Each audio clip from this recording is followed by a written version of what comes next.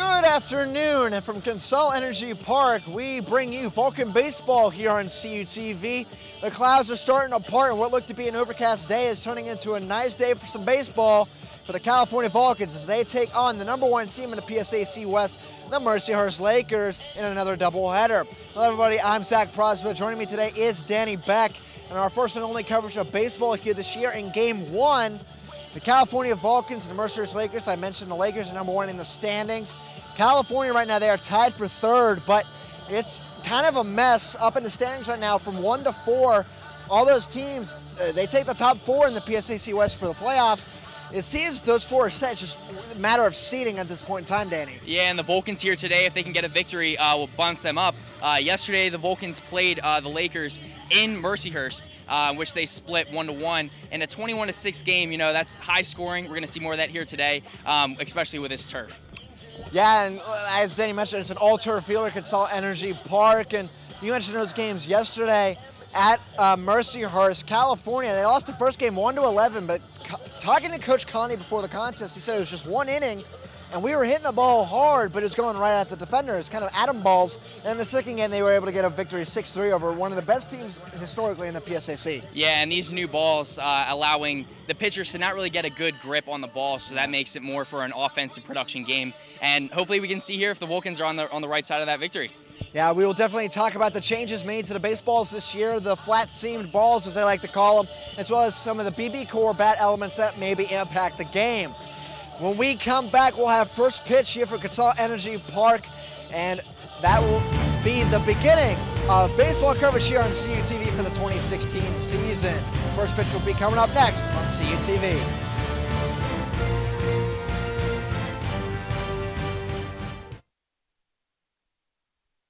With CalU's six on campus residence halls and Vulcan Village's garden style apartment complex, University Housing offers the very best value in service, convenience, privacy, and security. On campus, students will have easy access to classrooms, the newly renovated Natali Student Center, and a variety of activities across campus. University Housing Properties includes all utilities. Other common amenities to all properties are fully furnished rooms, high def cable TV, high speed Wi Fi access, and live in professional staff. Vulcan Village also includes a full kitchen and laundry room. The property has a 24 7 fitness center, convenient shuttle service, and an outdoor seasonal saltwater pool. Model rooms and tours are available. Stop in the University Housing Office or contact us by phone or email to learn more. For almost 30 years, CUTV has been the campus and community home for local news, sports, and entertainment. Broadcast in 100,000 homes in southwestern Pennsylvania, CUTV provides complete coverage of Vulcan sports as well as high school football coverage. Broadcast weekly live, CUTV News Center provides coverage of local and campus events, weekend weather, sports highlights, and feature stories. For more information on CUTV, check us out on the web, friend us on Facebook, or follow us on Twitter. Hello and welcome back. First pitch is just a few moments away. Again, I'm Zach Prosba, and joining me is Danny Beck for CUTV's first coverage of Vulcan baseball for the 2016 season. Uh, we talked a little bit about the standings in the open, and right now we're going to go over the lineups. And for California, we'll go over their defense first. In center field, leading off, you have Mick Fennell, one of the best Vulcans of all time. We'll talk about that a little bit as we go on. Second base, batting second, Garrett Brooks. Now at first base, batting third, Chris, Chris Waschak, excuse me. Catching and batting fourth, Christian Webb. The designated hitter and starter of the second game today for California, Joe Yorgel. Batting sixth and playing shortstop, Austin Logan. In left, number 32, Jared Grove. In right, number 17, Bobby Thompson. And the number nine hitter, number 23, Levi Kraus. He'll be manning the hot corner at third base. And doing the pitching for California today is GJ Senchak, who holds the all-time record for California in most innings pitched. And he is a senior, and today being senior day, this will be his last official PSAC contest here at home that is recognized at least on a weekend. He does have a home doubleheader next Friday against UPJ, but being the third game start, he'll likely play next weekend, not here at home. So this is his last chance to play here at Consol Energy Park. Now we'll move over to the Mercyhurst lineup, and leading off, playing second, it's Brendan Cox. Batting second, playing third, Austin Elong. Batting third and center field, Chris Gonzalez. Clean up, first base, Hank Morrison. The designated hitter, batting fifth, Daniel Elliott. Shortstop, batting sixth, Cameron Ballego. Batting seventh, Sabatino DiNardo III, who will be the catcher. We'll get the other few after we get this first pitch here from Senchak to Cox. And it's down and away, ball one. And Danny, we talked a little bit about how the new seams impact some pitches for uh, the pitchers in the PSAC. As we see one move in for a strike, a late call there to even count one and one. Yeah, it's different to see. It's more of an offensive uh, game, even from that respect, that they can't get those breaking balls in and, and really strategic pitching. And here's a ground ball to shortstop. Logan not able to control it. And before the game, we met with Coach Conti, and he said he values defense above everything else. And he said there's no reason that you shouldn't get a ground ball on this turf. He calls it carpet. And right there, just ate him up, let it handcuff him, and bounce out of his glove. Yeah, it looked like he kind of over anticipated where that ball was going to go. Uh, kind of was out of position even. Looked like he was too on top of the ball, and uh, that really didn't allow him to turn and, and, get that, that ball fired over to first base. Unfortunately, there um, we can see if the, if the Vulcans can can get back in this game. It's, it's early on, so we'll see how they how they heat up. E6 to start the ball game. Senchak now in a stretch. His first pitch. It's going to be a bunt. Goes right to Senchak, past him, and the throw to first is late, so it'll be a bunt single. First and second, no outs now. Brooks not able to come up and get that quick enough. Yeah, it looked like the pitcher, uh, Senchak, or yeah, Senchak was going to go get the ball, and and they just they're over anticipating everything. It looks like early on, so they just gotta just do what they know, uh, do what they learn in practice and all that stuff, and kind of use it in the game. And Coach Conti will come out here now and meet with his infielders. Actually, that is the pitching coach, excuse me, not Coach Conti, that is Anthony Rubyansky, the assistant coach. And out there just probably saying, you know, guys, relax. We know this is a good team. We don't want to get them out to a quick start. Uh, really, this is not Mercier's doing well. This is kind of mental errors on California's side. If they correct those, maybe they'll get out of this inning. Yeah, and the first uh, single there, uh, just shortstop really was not – he, he, kind of turned. He was thinking more about the throw over there than just fielding the ball first. Um, you really have to focus on everything. Use your your uh, your techniques that you learn in practice, and just bring them over into the game. And you know they'll they'll get past those errors early on, and, and, and hopefully they'll move forward. We're going to see Chris Gonzalez up to bat here for the Lakers now, the center fielder. Runners on first and second, no outs. First pitch in there for a strike on the outside corner, 0 1.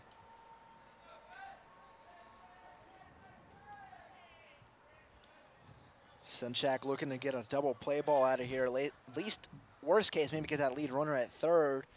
He's into the stretch. Winds and throws. And now a high fly ball. This one's going into the stands, though, out to the right side. And bounces down for a loud foul ball. It'll be 0-2. And even here you can see uh, Senchak kind of trying to go low, um, get a, a, a, grounder out of that, like you said, trying to get into a double play. Um, but we can see what he does here as uh, Gonzalez is out to bat. And maybe here, maybe best case, maybe get a strikeout and then bring up another guy for a double play ball, get you out of the inning. Pitch here, and this is rocketed out to center field. Going back is Fennell. He's at the wall, and it's off the batter's eye. Fennell gets the throw in quickly. Because they're going to send the runner. Here's the relay, and Logan's just going to hold it. Doesn't even throw. I think if he had thrown it, he might have had a chance, but he's going to hold on to it. And now the Lakers out to an early 1-0 lead. Yeah, and I think that uh, he was he was looking at going home, but then he was also looking at the runner at second, um, seeing if he would have anticipated a run. Even uh, he could have thrown it over to uh, the second baseman Garrett Brooks and, and try to get that out. Uh, just let one early. Hopefully they can get back. Hank Morrison up to bat now for Mercyhurst. He comes in with a current 16-game hitting streak. He's been on a really hot tear in the last couple months or so. First and second still as that was just a long single off the batter's eye. Morrison watches the first one in for a strike. Senchak trying to limit the damage here, just one run in the first inning. Mentioned gave up 10 runs in the third inning yesterday in the 11 to 1 loss, Danny.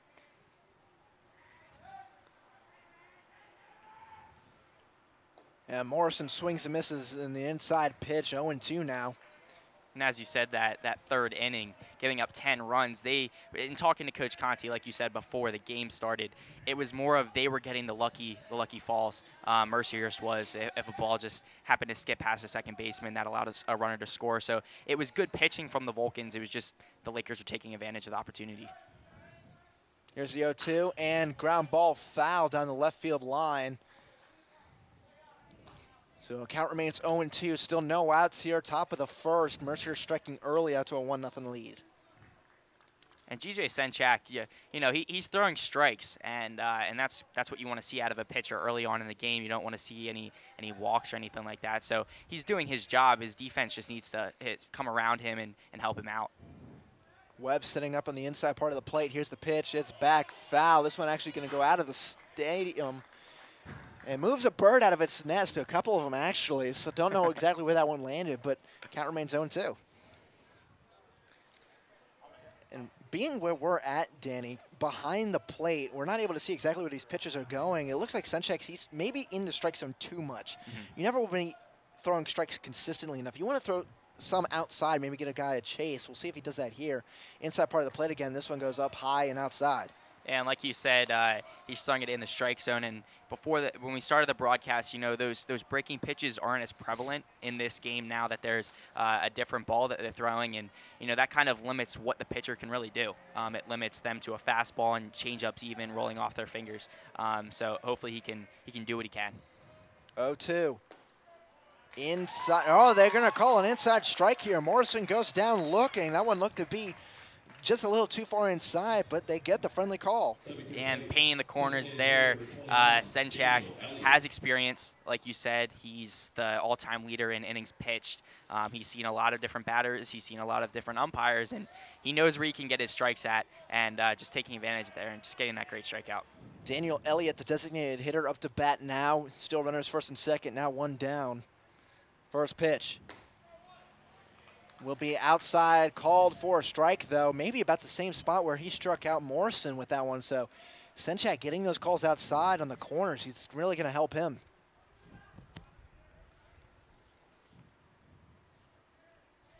Here's the 0-1, and this one is flown out to left field. Should be an easy play there for Grove, and it is. So now there will be two down, and after a very kind of inauspicious start to the inning. Mercyhurst, they've stranded a couple runners back to back, and California could get out of this with not a lot of damage done. Yeah, and with learning where uh, where Senchak can throw his pitches early on in the game, that will really help them later in the game um, because they, they understand where the umpire will call a strike and where he doesn't. And uh, so, you know, just, just learning early on, uh, I think can, can help in the long run for the Vulcans here early.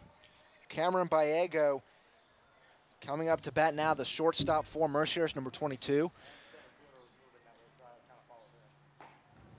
This one outside for a ball, not able to catch the corner. 1 0 the count now. And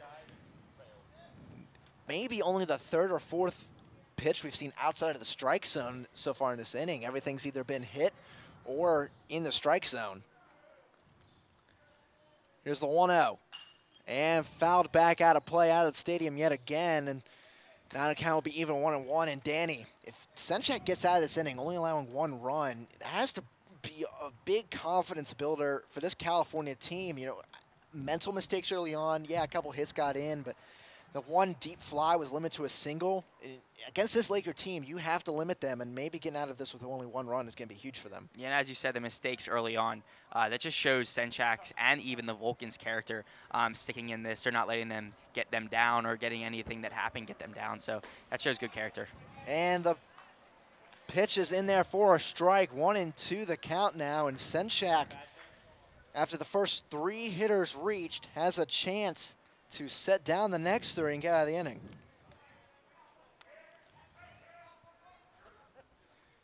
Senchak stepping off the rubber and getting the signs again from Webb.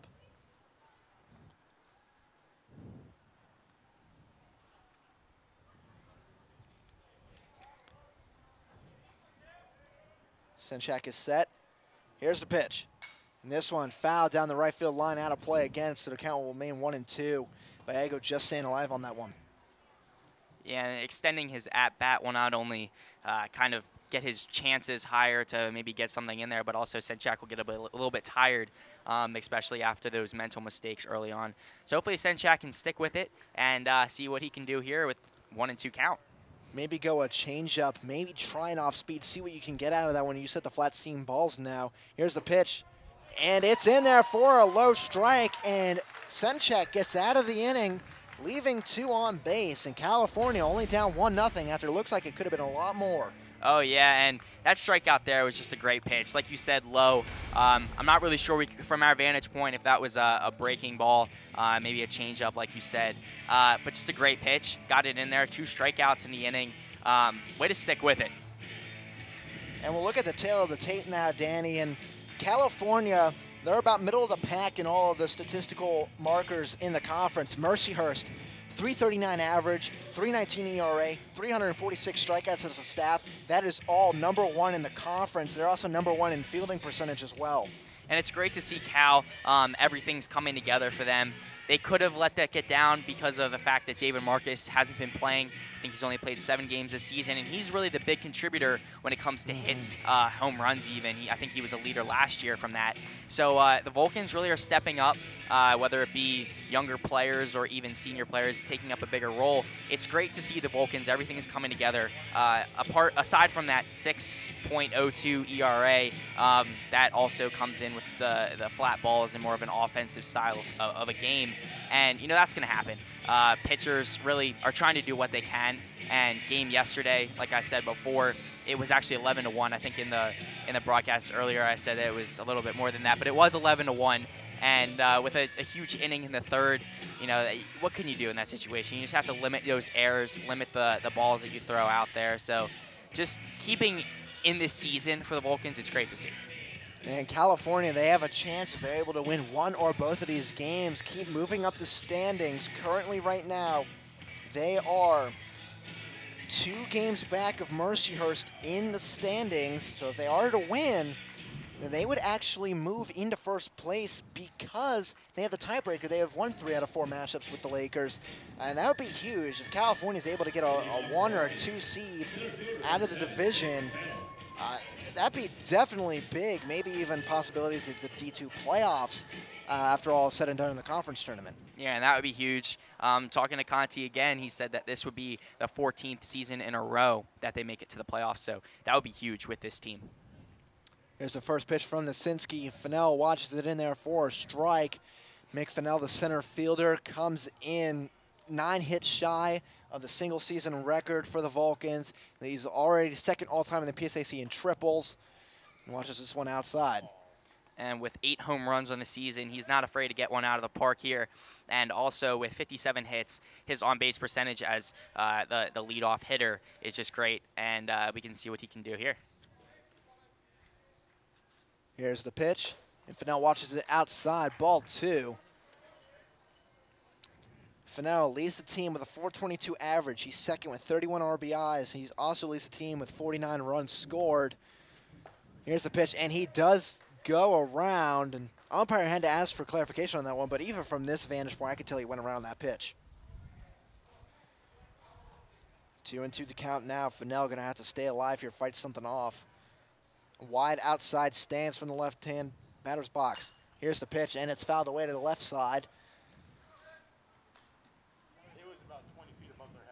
Nasinski trying to get Fennell out here. If, if Fennell gets on, he's always a threat. He also leads the team in uh, stolen bases, about 17 this year off the top of my head. Here's the pitch. And he'll watch it dip, dive in for a ball. Three and two the count. Yeah, Fennell just has to be smart here. If it's in, just turn your hips and just get into that ball and see what he can do here as a leadoff hitter.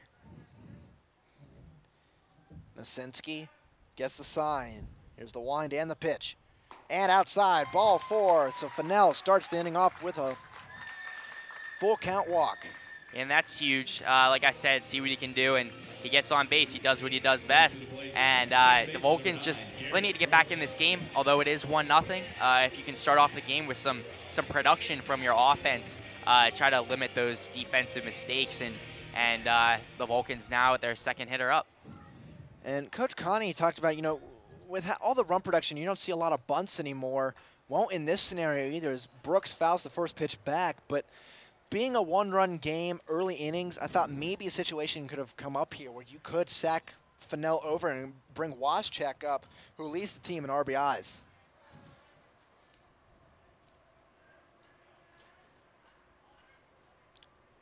Nasinski in the stretch now.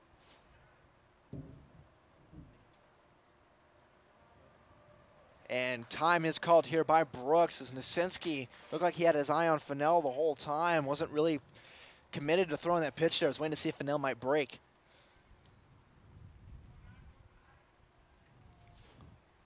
Back into the stretch. Now he's set and pick off move over to first base. Nothing there. Fennell back in, easily safe. Yeah, I'm not sure. I was just thinking in my head, I was like, I wonder what it would be like to slide on this turf. Would you slide more, or would you kind I, of stop? I think you would because you have to start earlier because on the turf you're going to move faster. You don't want to slide right before the base and then move over it.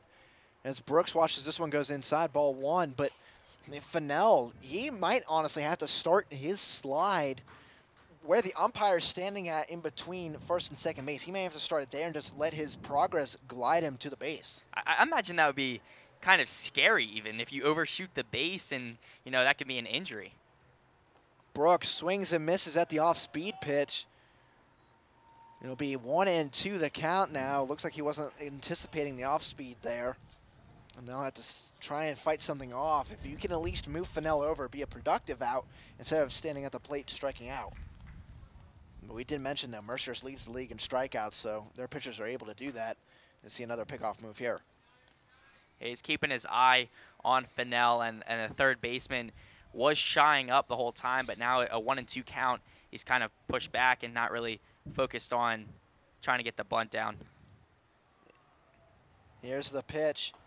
And this one is high. Looked like he was trying to dive into the zone, but it stayed up too much. So two and two the count now. And I can see this being a situation where Fennell maybe takes off, uh, looking for maybe an off-speed pitch, or if Brooks is able to connect on a fastball and drive it into a gap. Here's the two and two. And this one right at the shortstop line drive, and he is out at first base. Fennell not able to get back, so double play as Brooks made good contact. Fennell just off a little bit too much on that play. Yeah, that was a heads-up play by Mercyhurst. Um, you know, they just knowing the situation, and Fennell kind of got stuck in a sticky situation there as well, uh, trying to get back. As you can see here on our replay, um, the shortstop, just a great play from Mercyhurst, uh, knowing the situation, that was huge. And unfortunately, we weren't able to get the first base call back there. It was bang bang. Looked like it could have gone either way, but Fennell was called out. Waschak at the plate now watches the first one for a strike. Yeah, and Waschak, one of those hitters that's really stepping up with uh, 42 hits on the season and a 323 average. So they, that's big too. Next pitch outside, ball one, and Waschak last year as a freshman one of the big contributors for this team. Him and David Marcus were going to make a great pair this year in the 3-4 slots. As the next one is outside, but Marcus went down with injury. You mentioned only played seven games this year. He will be back next season. Maybe we could see the Cal offense even more powerful next year with these two together. Waschak waits for the two and one. Here's the pitch, and he swings and misses on an inside and low pitch. And with David Marcus out, um, you can see a lot of those freshmen. Uh, Christian Webb, starting catcher today, uh, he's also stepped up, and uh, it'll be interesting to see how this team develops uh, next year when a lot of these seniors leave. And Waschak swings and misses at the pitch outside, so Mercyhurst, even though Fennell leads off the inning, get out of it with a double play line drive and a strikeout. Mercyhurst leads 1-0 after the end of the first. We'll come back second inning action here on CUTV.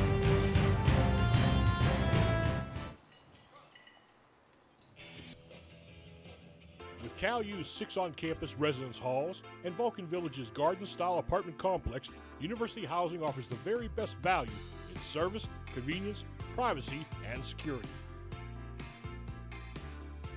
On campus, students will have easy access to classrooms, the newly renovated Natali Student Center, and a variety of activities across campus. University Housing Properties includes all utilities. Other common amenities to all properties are fully furnished rooms, high def cable TV, high speed Wi Fi access, and live in professional staff. Vulcan Village also includes a full kitchen and laundry room. The property has a 24 7 fitness center, convenient shuttle service, and an outdoor seasonal saltwater pool. Model rooms and tours are available. Stop in the University Housing Office or contact us by phone or email to learn more.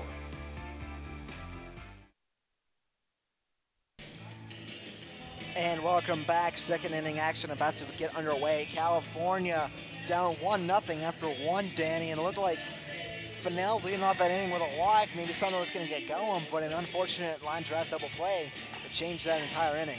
Yeah, and it could have been a drastically different game if uh, Senchak was not able to to kind of get those strikeouts that he did get, thankfully. Um, so we can see here what the Vulcans can do. Um, their offensive production just getting off to a little bit of a shaky start. And uh, you saw this yesterday when they played uh, Mercier. So they kind of shake off the cobwebs even a little bit yesterday. So hopefully they can get some production and kind of limit Mercyhurst uh, run scoring abilities. Leading off for Mercyhurst will be number 20, the catcher, DiNardo III. California maybe looking for a one, two, three inning here. Get back on the offensive side quickly. First pitch fouled off, back to the uh, backstop, 0-1.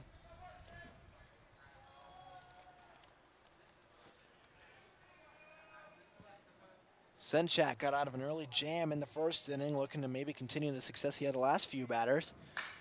Pitch grounded down the third base line.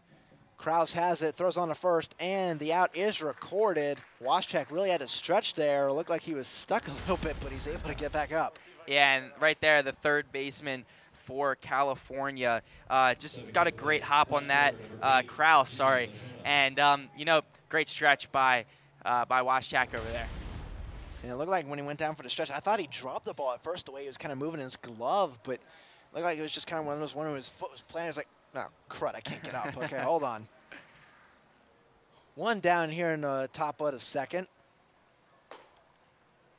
Off speed curls in, but it's high in the zone. 1 0. Batting here is Latona, the left fielder for Mercyhurst. And that was a clear breaking ball. I could see that from up here. this one moves inside. Looks like he might have caught the umpire a little bit near his foot, so it'll be 2 0.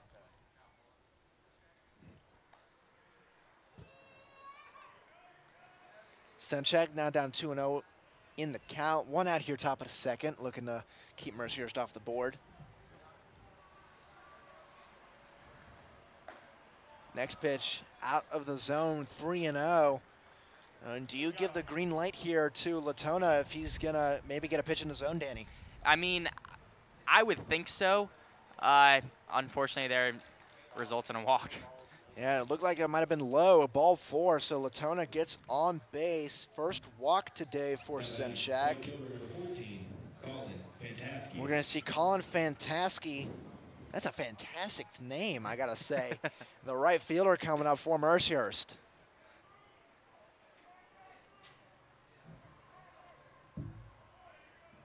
Looks like we might see a sack bunt situation here.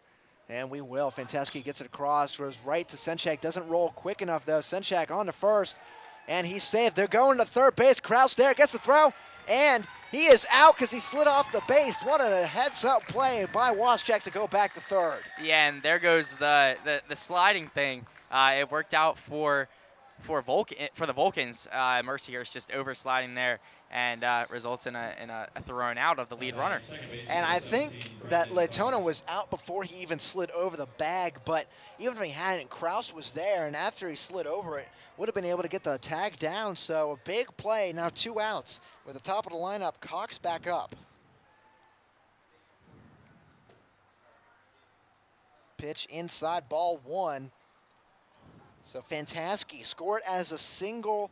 Latona does get to second, but thrown out, going to third base. Senchak gets one in there for a strike, evens the count. And Latona there, just a great bunt even. Um, kind of overlooked that because of what happened on that play, but a great placed bunt um, allowed him to get to first and, and, kind of move the runner around. Thankfully, the, the Vulcans heads up play there got the lead runner out.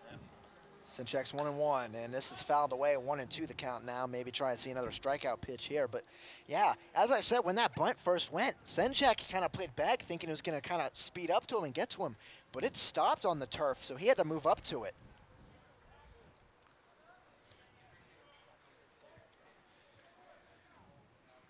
One and two the count. Two outs, top of the second. Cox up to bat for Mercyhurst.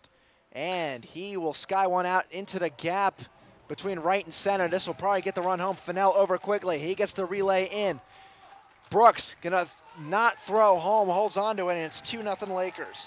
Yeah, and the Vulcans seem to be holding, not really, holding the runners, sorry, not really just rocketing one in there. Um, you know, you really want to kind of move that, that guy on second into a scoring position in third, uh, but just just a great hit by the Lakers into the gap. Fennell, unfortunately, could not get over there in time it looked like the ball was even roping towards the right whenever it, it was hit. So, uh, you know, the Vulcans now down by two. 2 nothing now the score. Mercer's with four hits today, and Cox has been on base both times he's been up. The first time with an E6, this time a RBI double to the gap. First pitch is outside for ball one as we see it.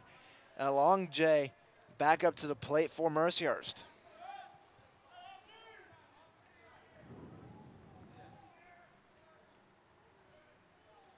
Here's the pitch from Senchak, and this one goes high in the zone, 2 and 0.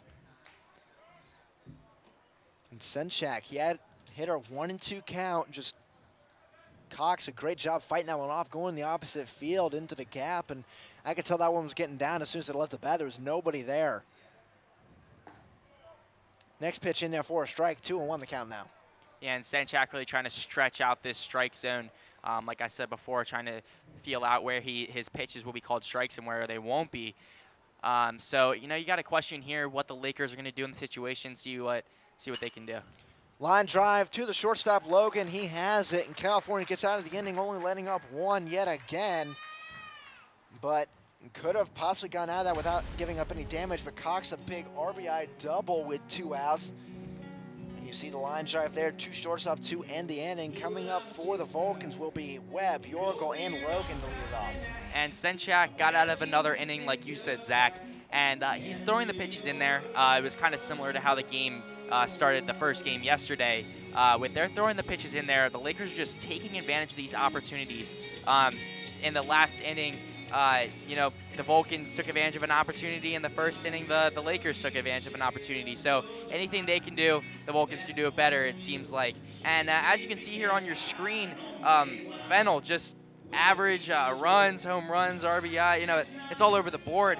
And uh, fielding, uh, Jack Dennis, uh, ERA is extremely low, well, for the Vulcans in, in this in this season with a 4.1. Um, so, you know, this team has a lot of standouts um, but they also have team uh, players that are just trying to do their best to help the team win. Yeah, that 4.18 ERA by uh, Jack Dennis, we're not going to see him here today because he started yesterday against Mercyhurst. Uh, the lowest in terms of the starting pitchers, and yeah, that's actually not that bad. You see a lot of four or five ERAs in the American League pitchers in the majors. Um, in the National League, you see more like threes and twos because of the pitcher hitting. Uh, but you know, DH lineups like they have in college, you're going to see more American League style play. Not a lot of small ball, more a lot of runs driven on to the scoreboard. We're going to see Christian Webb leading it off here for the Vulcans. Left-handed hitter, waits for the pitch from Nasinski. And it's in there for a strike, 0-1. And when I say it's a low ERA, it might kind of sound like ignorant, kind of. Um, but thinking of how, how these balls are, are, are played uh, with more of an offensive game, only four four runs allowed. That's that's pretty good. Next pitch outside four ball one. Nasinski, he's quick. Every time he gets the ball back, he's ready to throw his next pitch. Here it is, and it's down low, two and one. Vulcans maybe going to try and throw him off his rhythm get him into the stretch a little bit more like they did with Fennell. Got on base, but he was quickly wiped off in the double play. Webb grounds one to the shortstop, and he has to cock his throw again, but he gets it on to first base for the out. And Christian Webb, as many of the other Vulcans are today, just trying to do anything they could possibly do to to get runners on. Um, this team can hit the ball, and uh, they're just trying to get started. And uh, getting runners on base is the first thing you got to do. It's the first step. That was Ballego who made the play for the Lakers.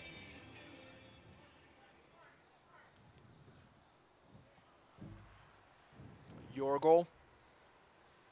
First pitch fouled back to the screen, 0 1 and we were doing softball this this past week. Uh, we were sitting right behind there, and, and I know then when those balls come up and hit that hit that that screen, it kind of makes me jump back, even though I know there's a screen there.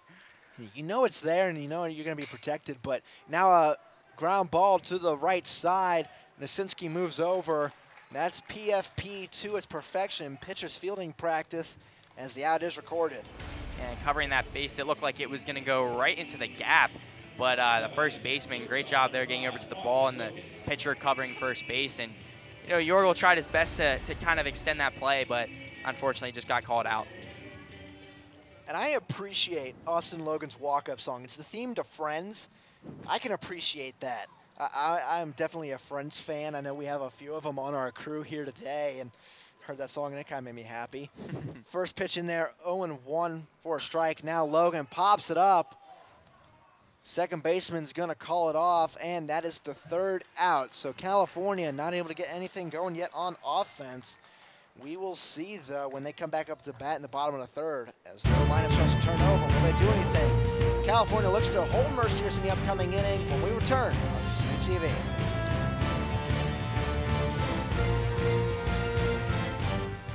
Cal U's six on campus residence halls and Vulcan Village's garden style apartment complex, University Housing offers the very best value in service, convenience, privacy, and security.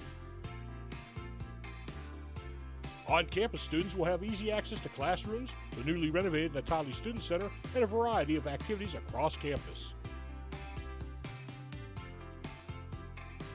University Housing Properties includes all utilities, other common amenities to all properties are fully furnished rooms, high def cable TV, high speed Wi Fi access, and live in professional staff. Vulcan Village also includes a full kitchen and laundry room. The property has a 24 7 fitness center, convenient shuttle service, and an outdoor seasonal saltwater pool. Model rooms and tours are available. Stop in the University Housing Office or contact us by phone or email to learn more. And welcome back to Falcone Field. And you see the lights there. Not on right now. And next weekend, though, against UPJ here at Consol Energy Park, they will be, as California and UPJ will be taking part in a Twilight Series. Games start at 4 and 7 next Friday night here at Consol Energy Park. Make sure you come out to support the Vulcans. And that's actually kind of different than what a lot of college teams do. They don't play a lot of night games unless you're in Division One. You play Friday and Saturday and Sunday nights. Um, but Division Two, it's rare to see night games, Danny. Yeah, you know the stars come out when the lights are out or lights are on. messed that up. I knew it was set up. No, um, but we can see here uh, what the, the, the stars that come out for the Vulcans and also UPJ. You know, Denny, they always try to keep it lit on the field, so you know. this pitch popped up straight in the air. Webb going back for it, and he has a nice play near the screen for the out. And it's weird with this overcast here today because I know the last time when uh, Cal hit that ball to uh, the second baseman, the shortstop was in the shade, but the second baseman was in the bright sun. Um, so, you know, it's kind of hard to not only judge where the ball's going to be at, but also the, the sun can kind of play in factor with that. As a former outfielder myself, I played right field a lot. During sunshine games, I didn't mind it as much. At night, that's when it got me because the ball, you know, if you get a lot of dirt on the ball, uh, and there's a lot of clouds, or it's really dark overhead, not a lot of lighting, you can lose the ball really easily. That's what affected me more. During the daytime games, I was perfectly fine. I enjoyed playing the outfield. At night, I was kind of a little bit more timid, afraid of losing the ball. Ground ball here to Logan, throws on to first and gets the out. So quick two outs here for California. As you said there, like you were talking about how you played in the outfield like I did. I played in the outfield as well, um, also second base. But the, the sun kind of bothered me. Um, I know most of these guys out here have those, those sunglasses, Oakleys, and all that stuff. Yeah. Like they're, they're wearing those high tech stuff. I never really had glasses out in the outfield. I never really used them. I don't really like sunglasses, but that kind of hurt my eyes, so I don't really like the sun. First pitch here outside and down into the turf, 1 and 0. And yeah, I was one of those guys. I had my pair of Oakleys. I still have them nowadays. I actually use them as my regular sunglasses now most of the time. Uh, they did give a lot of coverage, especially if it's a really sunny day. As you see the ground ball to second here, and a quick one, two, three inning for California, just what they needed. But sometimes it could throw you off, especially if, like I said before, if the ball is getting covered in dirt a lot and it's not been replaced a lot by the umpire, and then you're going to be a little bit harder to see. So it's kind of one of those comfort feels, like you said. Yeah, and, and these guys up here at this Division Two level, even they have so much more experience, um, and you know they're they're doing their best out there in the outfield. I just see the stat ranking here uh, with averages and ERA. Um, Mercyhurst has number one in the ERA department and also in fielding percentages. And uh, you know this Mercyhurst team is leading the PSAC West, and uh, Coach Conti tells his guys, you know, you can't circle one game on the schedule. You have to really look of every single team on the schedule as even strength, um, because once you look over one team, you know they can really bite you. And uh, the Cal has done great job this year of not overlooking anyone, playing their best, playing their competitive baseball every single week, and uh, you know. With a good record, a solid record, uh, top three in, in the PSAC West, see if they can kind of sneak into the playoffs even and, and and do some damage in the PSAC. Yeah, and Coach Conti before the game, uh, I asked him, you know, are you trying to fire your guys up a little bit more? They fired up more because it is Mercyhurst. They are the leaders in the division. He said, you know, it's up to them to fire themselves up. My job as a coach is to when we're playing a team that record-wise maybe isn't that good, like a Clarion or a Slippery Rock who are near the bottom of the division, it's my job to fire them up for that because I don't want to have them low off and we lose a game we shouldn't have on paper. Mm -hmm. First pitch here from Nasinski is called on the outside corner for a strike. We have Jared Grove up to bat. You have Grove, Thompson, and Kraus here in the bottom of the third. Next pitch, exact same spot, and Grove not happy with that call. He's like, that pitch is in the batter's box. How are you going to call that on me? And I agree, but the strike zones in college baseball are a lot more expanded than they are in the pros. Here's the 0-2. This one outside, and Nasinski is trying to go right back to that spot and maybe see if he can get another call. Yeah, it looks like he's just trying to paint that corner, um, maybe even like a millimeter off. I, it, I can't really see from this vantage point. Now Grove drives one into the gap, and it will be caught by the left fielder, though. Nice rangy play out there for the first out. Yeah, and Grove, unfortunately, it looked like it was going to be a gap hit. And uh, just that left fielder out there for Mercyhurst, just a great way of getting over there, and uh, that's Lanta. So yeah, just a great job of getting over there and, and, and catching that ball out there. Now Bobby Thompson up to bat for the Vulcans, the right fielder. This one, Sky down the left field side out of play. And, you know, Bobby Thompson kind of playing right field kind of reminds me of Bobby Higginson, who used to play for the Tigers back in the early 2000s, just the name and the position and stuff. And he has also a left-handed hitter as well. You see a pitch here, dive out of the zone, ball one. Two and zero oh, the score, or two nothing, excuse me, the score. California still without a hit so far in this ball game. This one inside ball two. Thompson wants to go by. And Nasinski keeps trying to paint that corner low.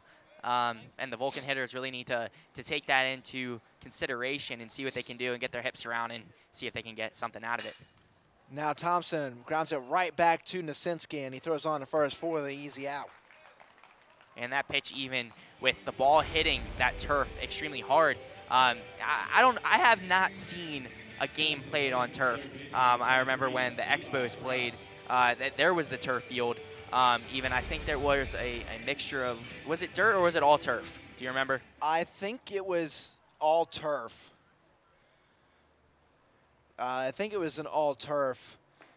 Um, we see striking here uh, against Kraus, but yeah, it was an all turf field up in Montreal, and it's weird. It plays a lot more faster than it does on dirt and grass. Kraus foul ball over here goes into the stands. It'll be an 0-2 count now, but and you mentioned the Montreal Expos. You know, there is talks that they may come back one day in the next few years, and I am a huge proponent of that. I loved when the Montreal Expos were a team, then they moved to the, become the Nationals. I would not mind seeing another team up in Montreal.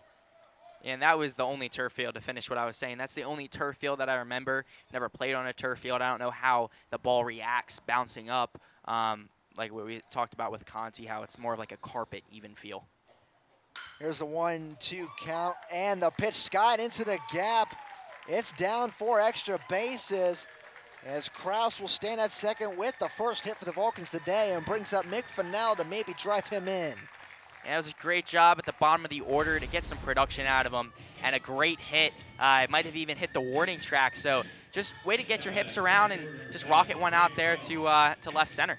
Yeah, I thought this might have gone over the fence for a ground rule double, but it stayed in just barely. And back to the all turf fields. Up until this season, the Blue Jays had turf field. They had dirt around the base paths. This season, though, they moved to a dirt infield for the first time. They still have turf out in the outfield, though. Uh, so they kind of a modified design of what we have here at Consol Energy Park. It's interesting. I mean, there's less of a maintenance uh, concern when it comes to turf.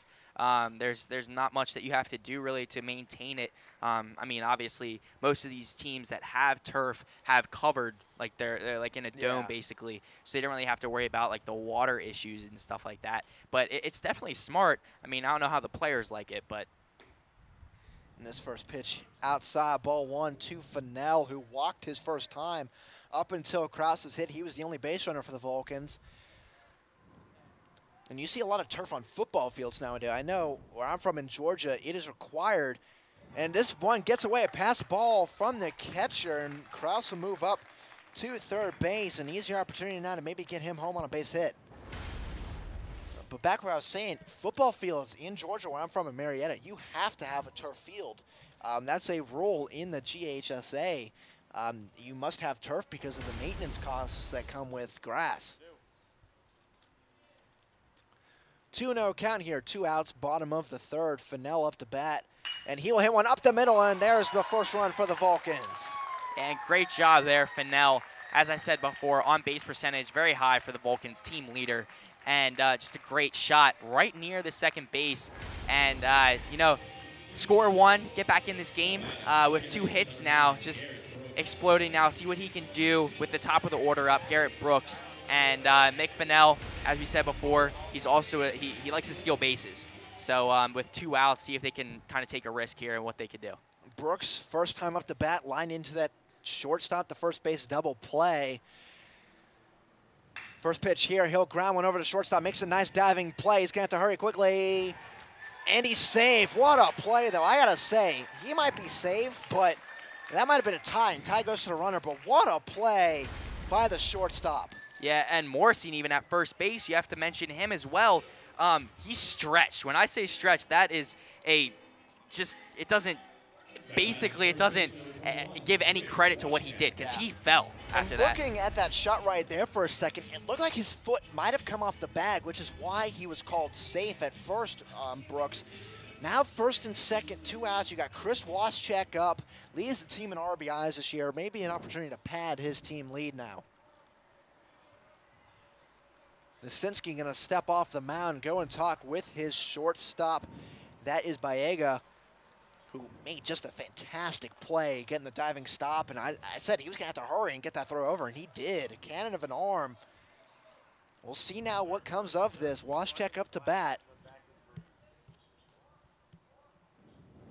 Waschek grounds one down the first baseline over the Mercenaries dugout, 0-1. See if uh, Waschak can maybe hit one in the gap. Um, the short uh, second baseman is playing a little bit back, and uh, shortstop, of course, watching uh, Fennell over there on second base. And, of course, with two outs, runners are going to get going. So if you hit one deep enough, as you see a strike on the outside corner here, if you hit one deep enough into the gap, you could see both runs score. But now in this opportunity to 0-2, Washek's just going to fight to stay alive, maybe just bloop one out to the outfield.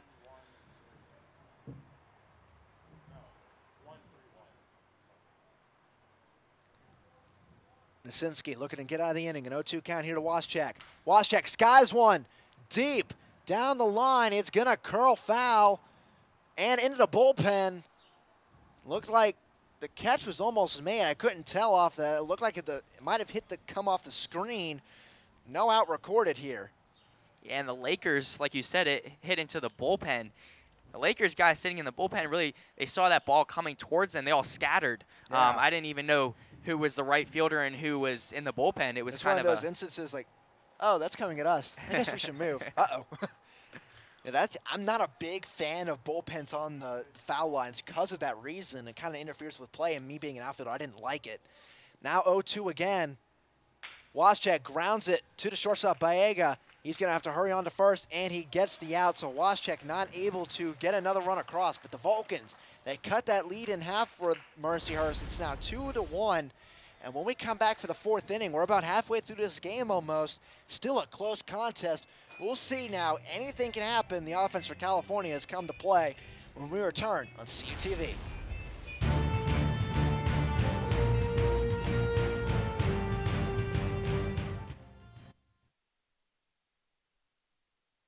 With Cal U's six on campus residence halls and Vulcan Village's garden style apartment complex, University Housing offers the very best value in service, convenience, privacy, and security. On campus, students will have easy access to classrooms, the newly renovated Natali Student Center, and a variety of activities across campus. University Housing Properties includes all utilities. Other common amenities to all properties are fully furnished rooms, high def cable TV, high speed Wi Fi access, and live in professional staff.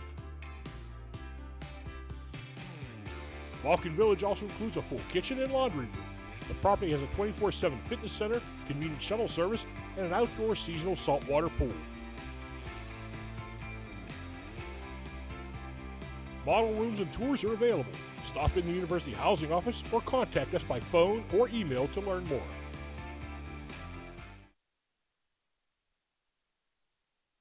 Welcome back to Consol Energy Park. The California Vulcans strike for one run in the bottom of the third off three hits, leave a couple men on, but the lead now only two to one in favor of Mercyhurst, who have Ballego leading off the inning and miraculous play at shortstop so far from him, but Senchak gonna look to maybe strike him out again. One, two, three inning last time for Senchak. First pitch, wild pitch here for Senchak as Ballego kind of threw that drag bunt across at the last second, might have thrown Senchak off. Yeah, and it- that bunt, the showing bunt, kind of gets the the pitcher to kind of throw it a little bit lighter, so the, the bunt doesn't really do much, and, and that was a strategic move from from the Lakers there. Second pitch is down in the zone, ball two. California looking to maybe get back on offense quickly and maybe see if they can wear Nasinski down. Here's the pitch, ground ball in between shortstop and third base. The five hole on the infield, if you'll call it. It'll be a single here for Ballego. Yeah, it was a great placed hit. Unfortunately for Senchak, uh, Mercyhurst getting runners on base with five hits on the day already. Um, you know, Vulcans really have to try to limit those. Uh, that was just a great placed hit, like I said there, um, in the five hole, as you said. And the master of the five hole over there, Tony Gwynn. Uh, and then we can see a sack bunt here. Senchak gets it. He'll go on to first for the easy flip out and one out runner at second.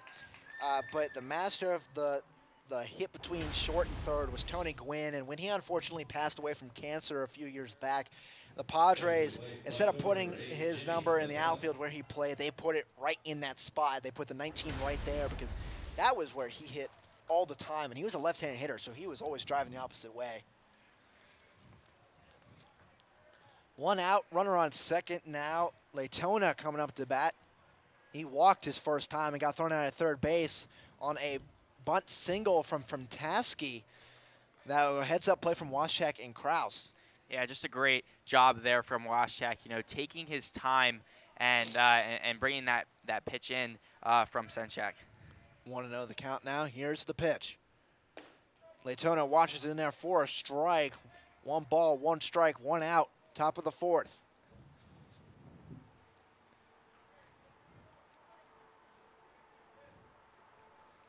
Latona at least looking to move that runner over to third base. Bring up Fantaski with two outs. Here's the pitch. Latona watches in there for a high strike. That one was high from my vantage point. Looked like it might have just been a little bit caught the zone just enough for that call.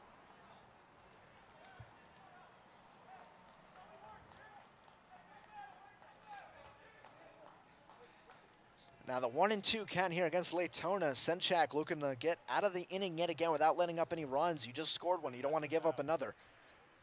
Here's the pitch. Latona grounds it in between the hole. Grove going to come up throwing. He goes to the plate. Here it is, the throw, and not in time. Webb drops it. Looked like he might have had him if he got it because Webb was blocking the plate. But the run comes in to score. Latona goes to second on the throw, an RBI single there. Yeah, and Webb doing a great job of blocking the plate. As you can see here on our replay, Grove coming up just fires one in, and it was a great throw. It was on time. Webb just was thinking about tagging the runner before even just bringing the ball in. Um, so it was a great play by Grove out there in left field. Um, just unfortunately for Christian Webb, could not bring that, that ball in and, and tag the runner. Three to one the score now. California strikes for a run, but they let one quickly back up. Fantaski at the plate now. Grounds it. Senchak off his bare hand. Logan going to make the bare hand play on to first. Not in time. Waschek watches it get away. And Latona is going to come around to score on the error. So Mercyhurst, beneficiaries of a couple erratic plays here from California, increase their lead. Yeah, and this is something that Coach Conti was telling us before. Um, that you know Mercyhurst taking advantage of the opportunity, um, like they did in the first inning, getting that one run. Uh, but just not really sloppy play, just unfortunate play for the Vulcans. Um, overthinking, not really taking their time and, and, getting those plays that they're supposed to. Um, but it might have been a, a, routine play there if Senchak didn't deflect that ball with his offhand, like you said. Um, but, you know, just try to stick with it. And uh, Waschak over there, unfortunately, could not handle the ball. And like I said, it went off his bare hand, and that is his throwing hand. So he's going to get a few warm-up pitches to see how he is. Well, at least on that one, he looked fine, but that's always a dangerous play. We'll see here. And you said that he might have been able to just like a routine ground ball, maybe. That is instinct, though, from Senchak to get that throw, and the error there on Waschak, not able to pick that one out of the ground, uh, and caused the runner to come home. I don't even think that Waschak would have even got a that pitch to be out. I don't even know if that runner would have yeah. been out in that situation. I think it would have been even. safe, and maybe just better play would have been for Logan to hold it. But he looked like he probably thought he had an opportunity to get it out over there. Now runner on first, one out. 0-1 count now to Cox, the leadoff hitter and the second baseman for Mercier, up for the third time. Pitch to second baseman Brooks. He dives. He's not able to stop it. Fennell going to come up. He's going to throw to third. Kraus gets it and he's safe as looked like Fantaski almost slid off the bag. Kraus can't believe that he didn't get that out call. Now be first and third here for the Lakers. Yeah, Fantaski just looked like, as you can see here, Fennell just coming up throwing and just has a cannon of an arm. I didn't even think that would have been throw, even close. Yeah. And it looked like when Fantaski was kind of putting his arm out, it looked like he came off the base just a little bit. And uh, that's why Kraus over there just was thinking like I got that call, but unfortunately he didn't. Yeah, and the umpire was right there to make that call, so we're going to give him the benefit of that. His eyes were right on top of the play, and it looked like the tag was just slightly late, though. Now a high bunt. This one's going to be popped up. Webb's going to go back for it. So a very bad bunt attempt results in a quick second out. And Mercier's now down first and third with two outs. Yeah, and something different. Um, the Vulcans don't really bunt in, in uh, situations like this. You know, they like to hit and run in that situation, and uh, something that the Lakers do a little bit different.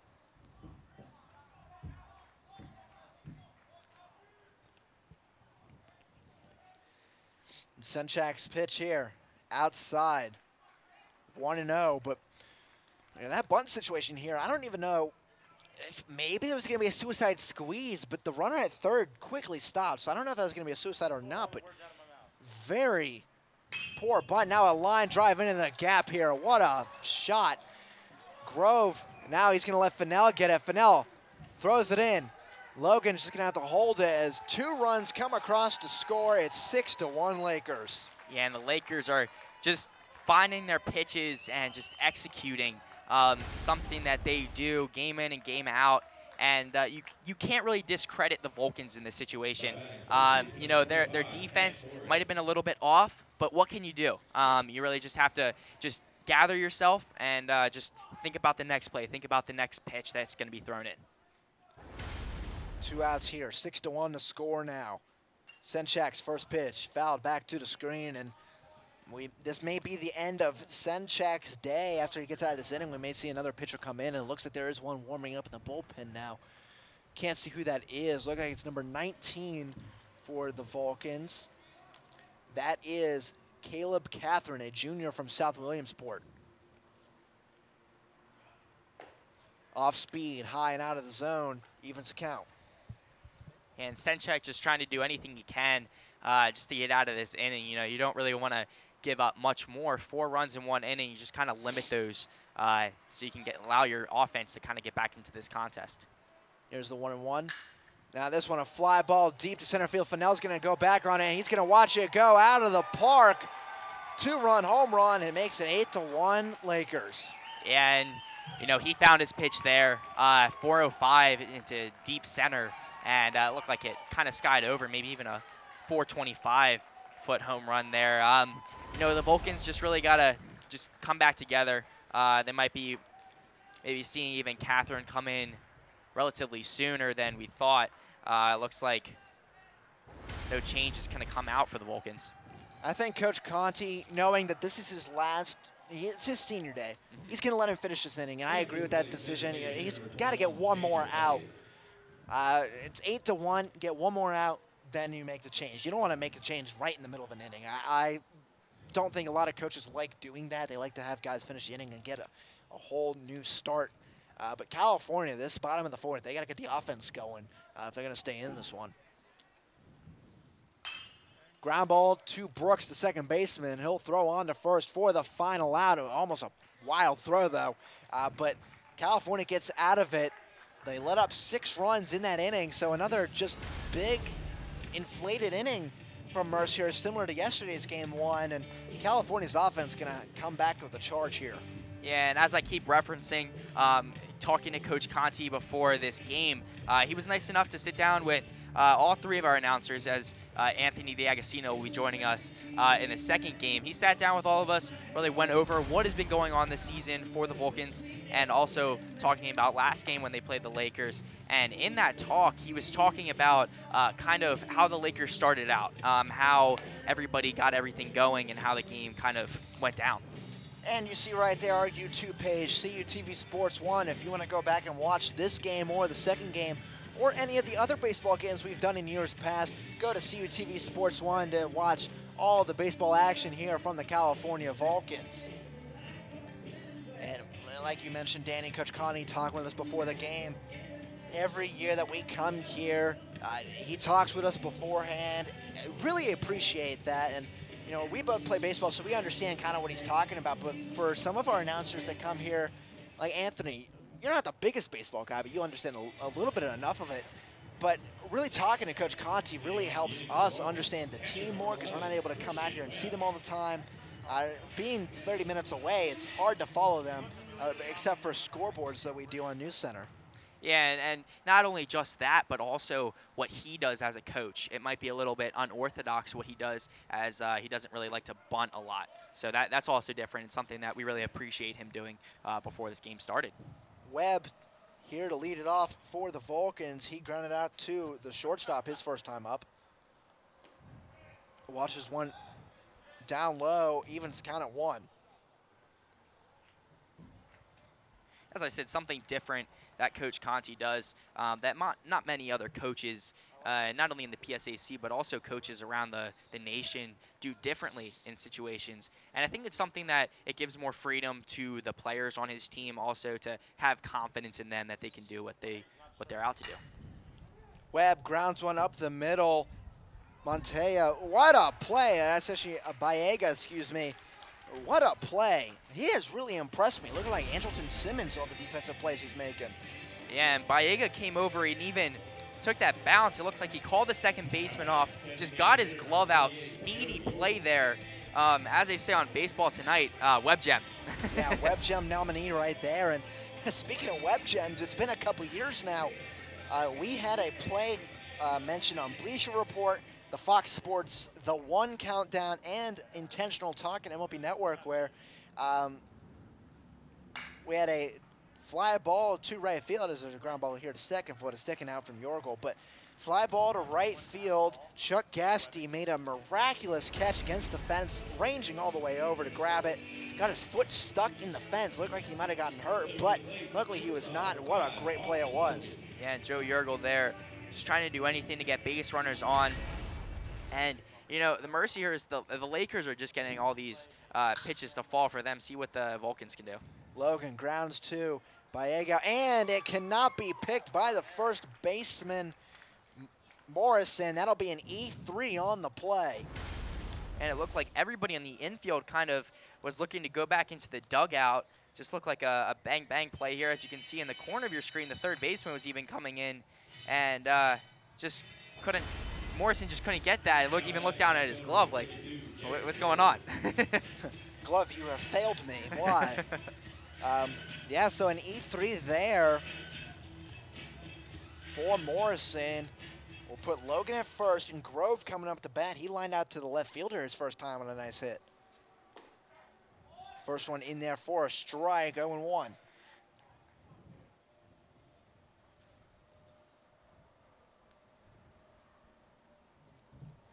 Nasinski ready for the 0-1 pitch. It's in, and Grove fouls it off. 0-2 the count now.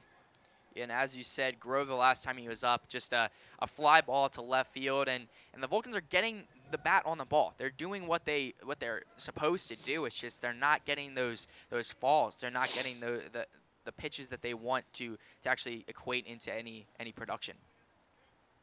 Oh, into the count here. Nasinski with the pitch. And it's high and outside, ball one.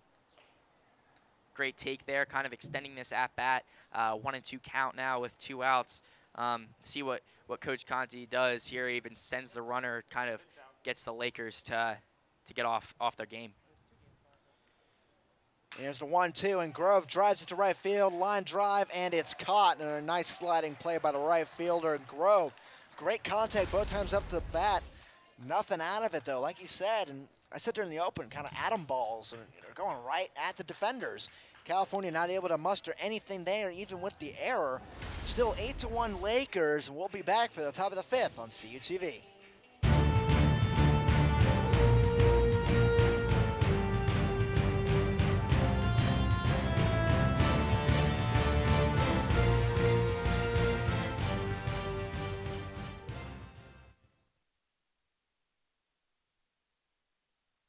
Cal six on campus residence halls and Vulcan Village's garden style apartment complex, University Housing offers the very best value in service, convenience, privacy, and security.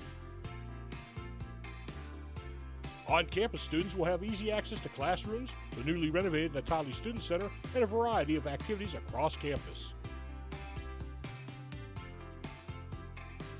University Housing Properties includes all utilities, other common amenities to all properties are fully furnished rooms, high-def cable TV, high-speed Wi-Fi access, and live-in professional staff. Vulcan Village also includes a full kitchen and laundry room. The property has a 24-7 fitness center, convenient shuttle service, and an outdoor seasonal saltwater pool. Model rooms and tours are available. Stop in the University Housing Office or contact us by phone or email to learn more. And we are back. Caleb Catherine, sporting the nice mustache on the mound, is now in to pitch for the Vulcans.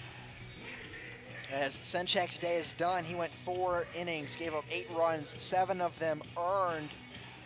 Had one walk and two strikeouts, gave up 10 hits as well, faced 23 batters.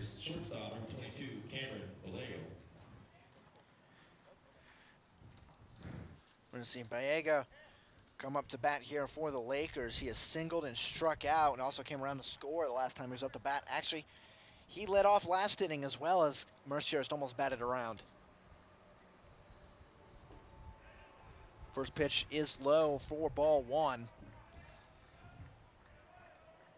This is my first broadcast here um, at Consol Energy Park, and just a great day for baseball as as the Vulcans take on a doubleheader against the Lakers. Yeah, when that pitcher's in there for a strike, it seems every time we come out for baseball, thankfully, it's been a nice day. It's been the spring weather that you enjoy when baseball season is around. Now a fly ball out to center field. Fennell going to go to the gap. He will watch it go over his head for an extra base hit. Fennell going to throw it in, and Baega will stop at second with a double. And Fennell's arm kind of limiting the, the Lakers' ability to get extra base hits out of those. Um, it was a clear double opportunity, uh, but Fennell, if, if he didn't get that pitch in there faster, you know, that could have been a, a triple even. Um, so his his ability to just get the ball into the cutoff, uh, kind of limiting the Lakers' ability to get extra base hits. We're going to see DiNardo come up to bat. He has a sacrifice bunt and a ground out to third base on his record today. Catherine's pitch is sky to the outfield. This one is deep and gone. Or no, excuse me, no. It hit off the wall out there in left field. And they're actually calling a home run though. I did go over the yellow. It did go over the yellow line. And we'll see.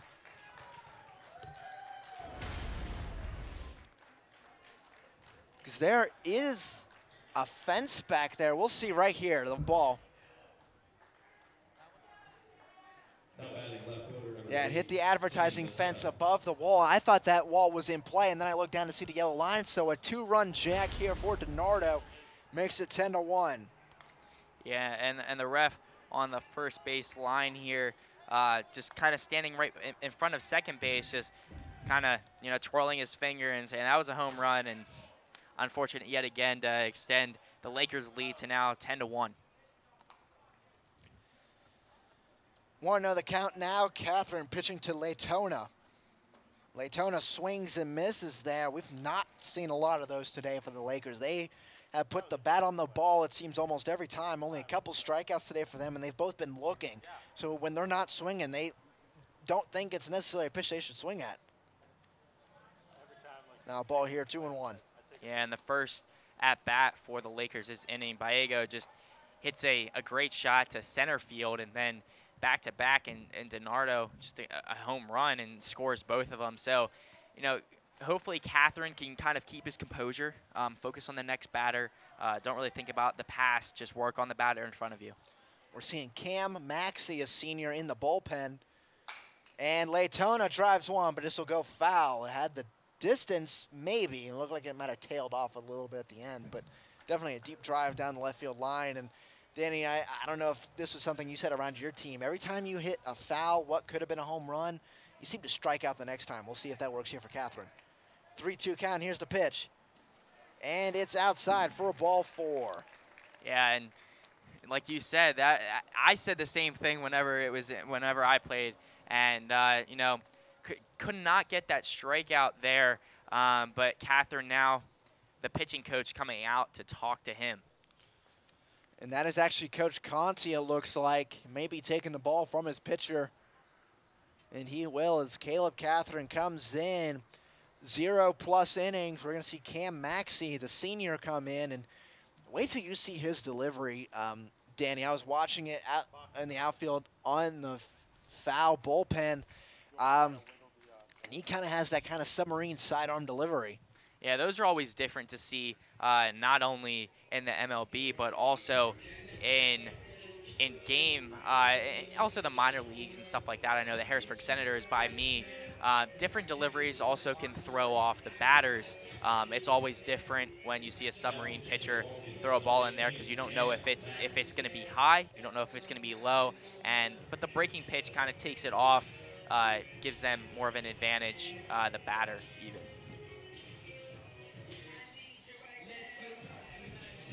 And we're going to look at the home run now that caused the pitching change here for the Vulcans as DiNardo skied it out, hit the advertising screen out in left center field near the scoreboard. Made it a 10-1 ball game. We're going to see Latona at first base here. Maxi coming in.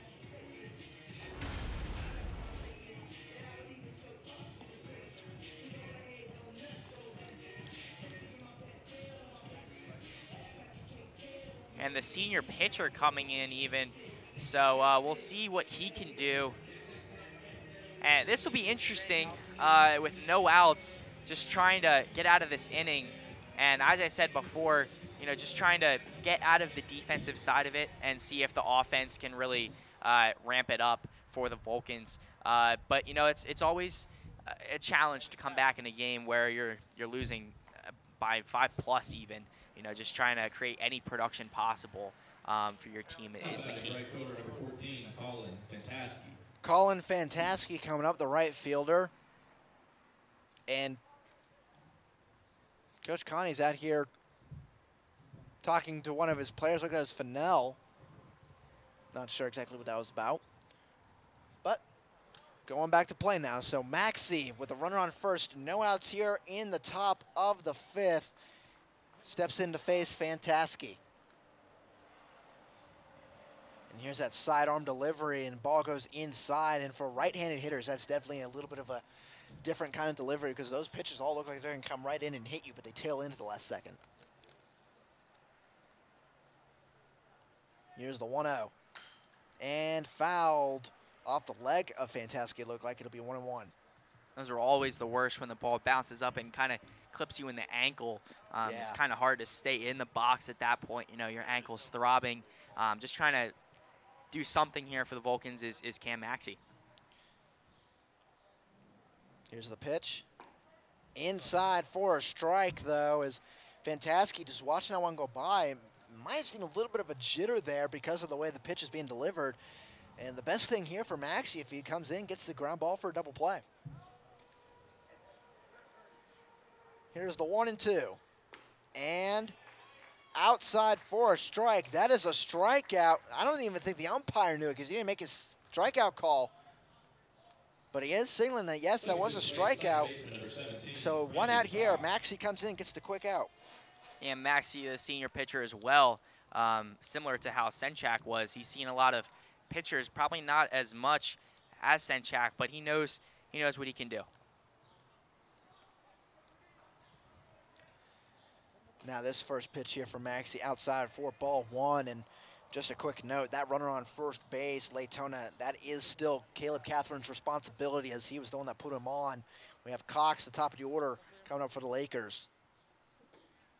This one down and in, ball two. And the first pitch from Cam Maxi was, you normally say in the dirt, but here I say in the turf. it's a little yeah. bit different, um, but you know you got to play the way I guess what you normally say. Ball three inside. and You don't want to put Cox on because Elonge, he has a single today. He's actually been the one guy at the top of the Mercyhurst lineup that really hasn't done anything contributive-wise to runs on the board. Uh, but you still don't want to get this top of the lineup an opportunity. Now ball is in there for a strike, and the throw back to first is safe. Three and one the count now, still one out. And a three and one count. This is normally the batter's uh, count in favor of the batter. He can really see if, if he sees a pitch he doesn't like and it's in there for a strike, he still has one uh, to stay alive. Now fly ball to the gap. Looks like Grove has a play on it, and it drops at the warning track. Fennell quickly gets it in. Logan gonna watch it bounce, and he fakes the throw. That's like three or four times that California has not continued the relay in.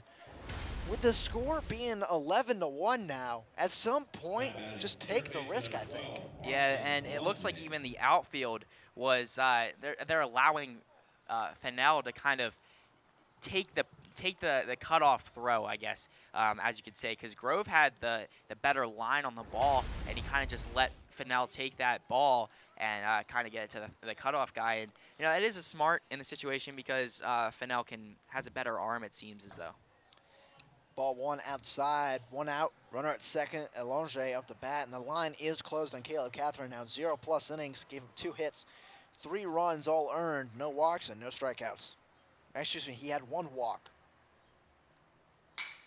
Now line drive, Brooks leaps up in the air and catches it. That'll be out number two. Yeah, and Mercyhurst, smart in that way, uh, start in that respect, that they stay near the base. Uh, that could have been a gap or just right over the second baseman's head, but uh, runner on second, uh, just smart play there, Cox. Chris Gonzalez up to the plate now. He doubled last inning and brought a couple runs home, and then was followed up by Morrison's home run, which extended his 16 game hitting streak. Two outs here. Here's Maxie's pitch, grounded foul down the left field line.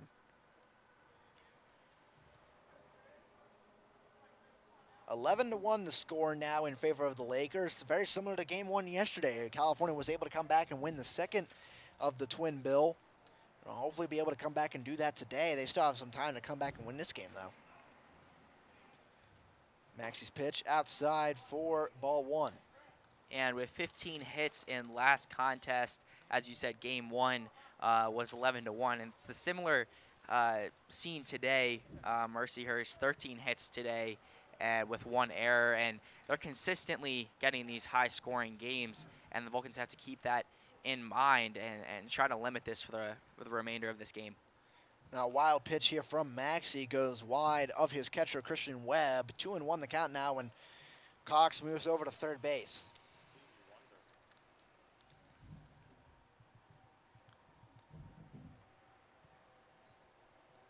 Two and one the count. Two outs, top of the fifth. And a line drive into the gap yet again. It seems every time the Lakers make contact with the ball, it's going towards the gap. This will be extra bases. Fennell plays it off the wall, gets the throw in, and limits Longe to an RBI double. Yeah, and just another unfortunate play for the Vulcans.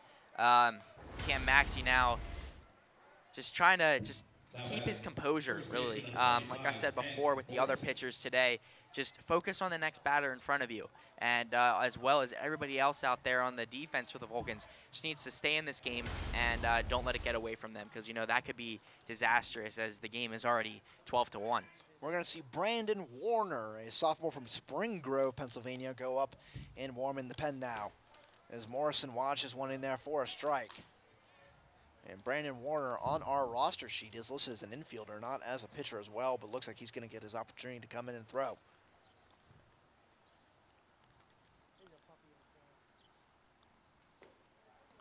And this one tails outside for ball one.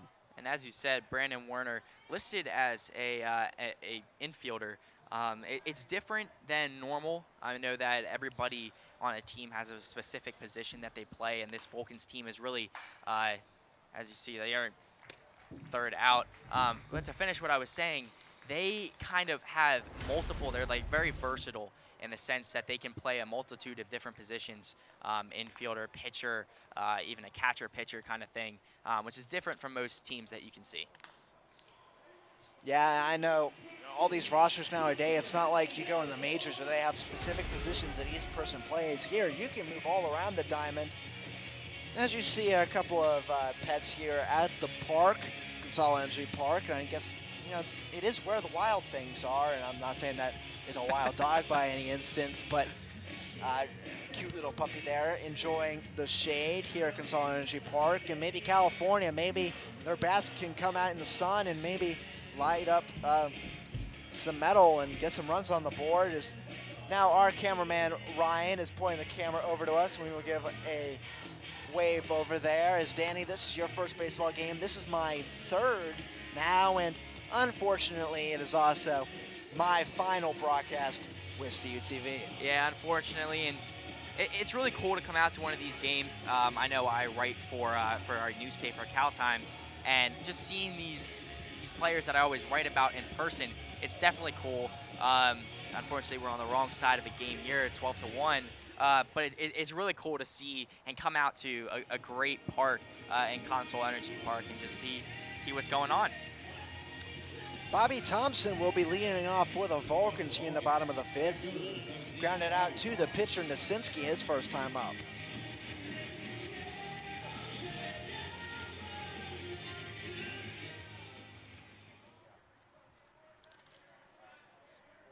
Nasinski's first pitch of the inning is outside, ball one.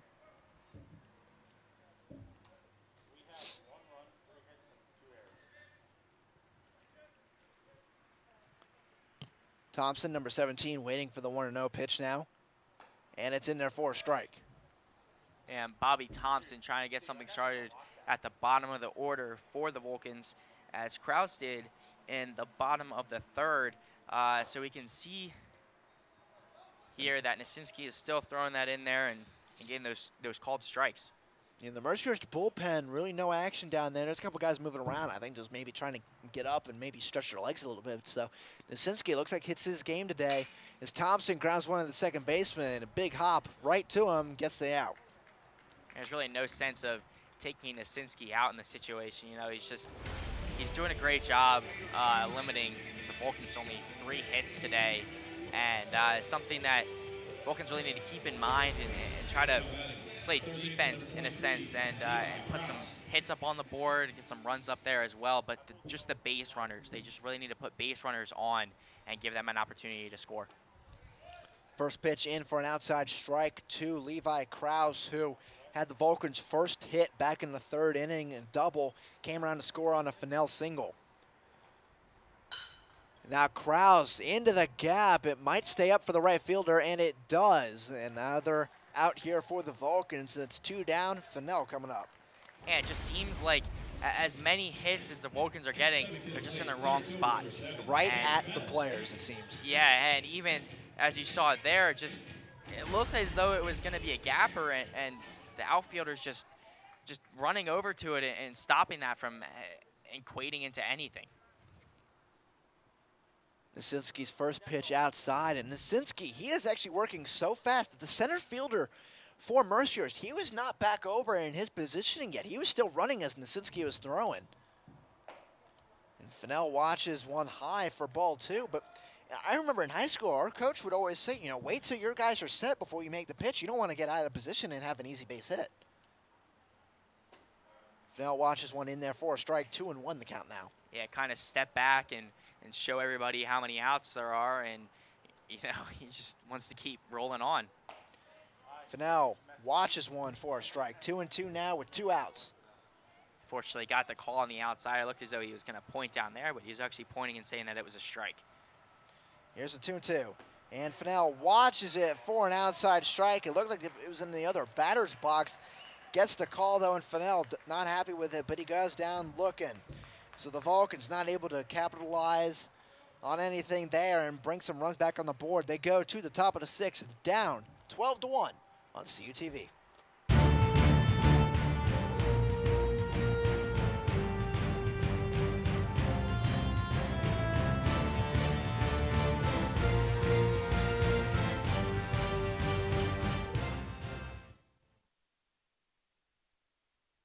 Cal six on campus residence halls and Vulcan Village's garden style apartment complex, University Housing offers the very best value in service, convenience, privacy, and security. On campus, students will have easy access to classrooms, the newly renovated Natali Student Center, and a variety of activities across campus. University Housing Properties includes all utilities, other common amenities to all properties are fully furnished rooms, high def cable TV, high speed Wi Fi access, and live in professional staff. Vulcan Village also includes a full kitchen and laundry room. The property has a 24 7 fitness center, convenient shuttle service, and an outdoor seasonal saltwater pool. Model rooms and tours are available. Stop in the University Housing Office or contact us by phone or email to learn more.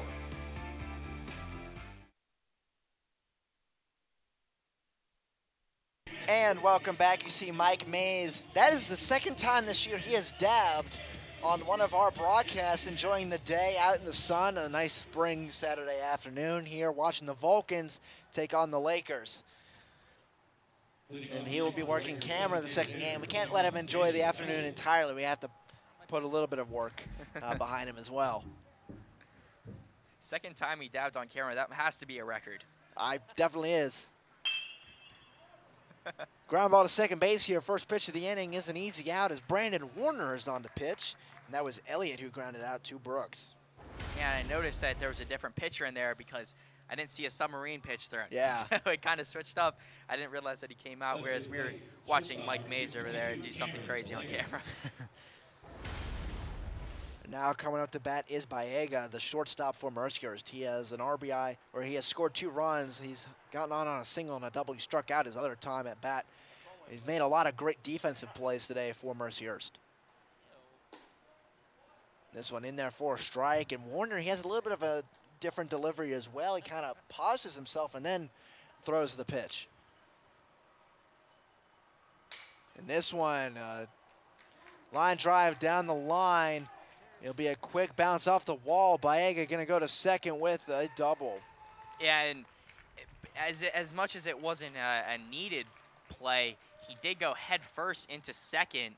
Um, but like you said before, you have to really start your your slide very early, and you can kind of see right before, um, kind of where the second baseman is standing right now, uh, Garrett Brooks, where the, where the, it looks like they started their slide anyways, and uh, it's really prevalent. You can see it on this turf, the the different the glare of in the sun. Yeah. Warner's pitch to DiNardo is low ball one. He also has a strike on him. It's one and one. I don't remember him throwing two pitches to DiNardo. And a ground ball. And now the count's one and two. I'm pretty sure that the count's. I'm pretty sure the count is only one and one though. Uh, we'll have to wait and see here though. I, I don't think he threw another pitch to uh, DiNardo before we saw that first ball. This one swung on and missed. So yes, the count will be one and two now as DiNardo would have took off for first base. So it's one and two now. The scoreboard had it wrong and they put one and three on the board. Now they have to reset. Now it's one and two. But the runner, Baega, did advance on the passed ball.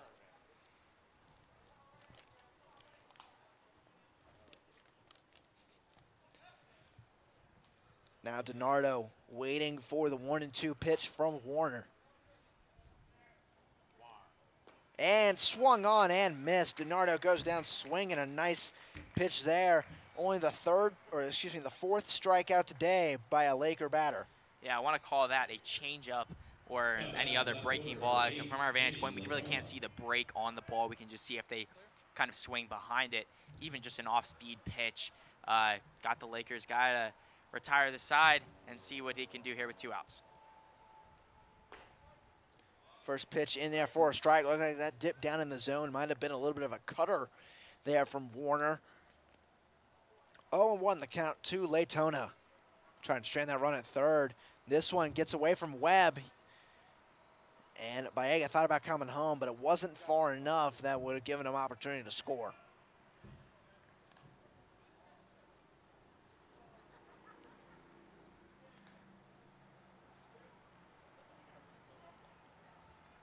The Vulcans now going through multitude of different pitchers in game one. Got to think that that takes a toll on their bullpen for game two. Um, we have to see who's going to be pitching, especially after a series just yesterday. That one in there for a high inside strike. One and two to count now, and we already see warming up in the bullpen, number 45, Thomas Chisholm, a freshman from Williamsburg, Virginia. The one and two. In there, swung on and missed. So Brandon Warner comes in and gets a couple guys down. Easy inning there. Got a runner on, but left him stranded at third base. Yeah, getting two strikeouts and that uh, the, first few batters that he's seen today um, just is great uh, from a young a young pitcher like that. Um, but as you see here on your screen, our Facebook page, uh, California University Television, we have a multitude of different people on our crew that use Facebook. Um, one, I always have to say, our own Anthony D'Agostino is a, a, a great user of Facebook. Has to be uh, Zuckerberg's favorite person on Facebook. but um, check it out. Um, we can see what we post. Uh, we also post our uh, YouTube videos on our Facebook page. And Anthony, currently on camera right now, he's going to go on Facebook I, I guarantee you he's going to go on Facebook and say, I was on camera today, and no, I was not announcing. He's just like that. If, they, if you had to pay to post on Facebook, Anthony would be in debt by a tremendous amount. I, if I, he got paid, though, he'd be a millionaire. Here's what you do. Here's your challenge. If you're at home watching this right now or online, go find Anthony D'Agostino on Facebook and friend him. And I guarantee you, the next 10 notifications, Anthony will at least be seven of them on your timeline. and if he is, I want you to tweet us at CUTV underscore PA and you will then be on a broadcast and have been notified then that you are true Facebook friends with Anthony Agostino. Give or take seven. You know, there could be more. He could be all 10. That would be Yeah. a, a new record as well. I, I remember at one point, my last 10 notifications were all from Anthony. He lives on Facebook. He nods his head in agreement, so he can't just deny it. Now a high drive out here for Brooks will get out. Garrett Brooks sends it a long drive, and that one's gone. Makes it a 12-2 ball game. Maybe a little too late for this contest, but good to see that the offense still producing some runs. It's never too late. You know, you just stay in this game, and Garrett Brooks showing some heart just rockets that ball even. You know, you saw Mercyhurst hit that off the fence. Uh, that was even farther enough that it went over. It cleared everything out there. So great hit. Uh, great way to just turn on that ball and get a shot out there to left field. Now Waschak coming up, he's got some power too. First pitch outside for a ball. So 12 to 2 the score now. The Vulcans, every time the Lakers have not scored an inning, the Vulcans come back and score themselves. Look to collect a couple runs here as this one's grounded back to Nasinski, throwing the first for the out.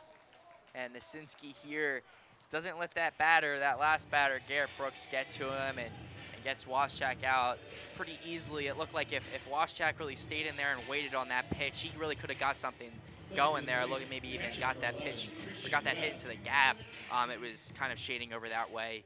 Uh, but right back to the pitcher, unfortunately, in that case. We're going to see Christian Webb come up to the plate now. First pitch outside for ball one. Bottom of the sixth here. The penultimate inning, unless California is able to make a miraculous comeback. This one dives down, ball two. And that pitch broke in even as well. I could see that from here. That was one pitch that I saw uh, that kind of broke in and, and got that to fall. Webb shoots one down the line, and it goes foul.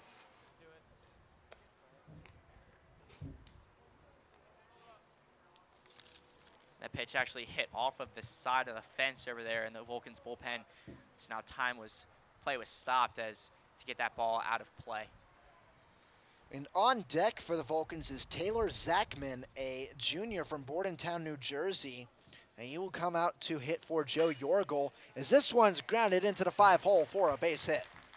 Great hit there. Uh, it's something that the Lakers have been known to do today. And uh, Christian Webb getting one on base brings up a new hitter for the Vulcans. And Zachman, his first plate appearance today, coming in for Joe Yorgel, who is the starter for next next contest, and maybe get him prepared uh, for the next ball game that'll come up about 30 minutes after the conclusion of this one. And maybe, you know, Nasinski might be getting tired. Maybe the velocity's kind of tailed off on some of his pitches, leaving him a little bit easier to hit for the Vulcans. We'll see what Zachman can do here.